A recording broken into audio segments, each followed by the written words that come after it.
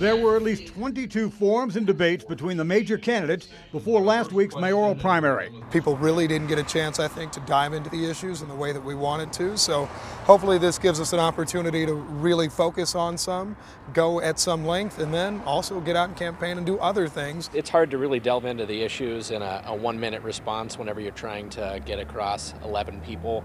Um, and this will provide a lot more opportunity for the candidates. Overstreet's candidate, Jolie Justus, was out of town. This weekend, the campaigns announced a deal on forums and debates. Six joint candidate forums co hosted by the Kansas City Star newspaper and other co sponsors, one in each of the city's council districts. Six other joint candidate events will be hosted by Kansas City news organizations.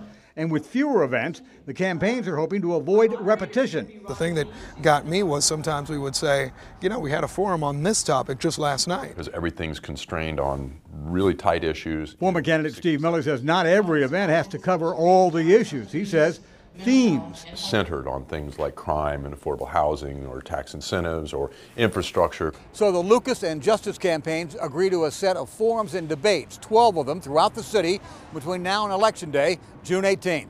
Micheal Mahoney, KMBC 9 News.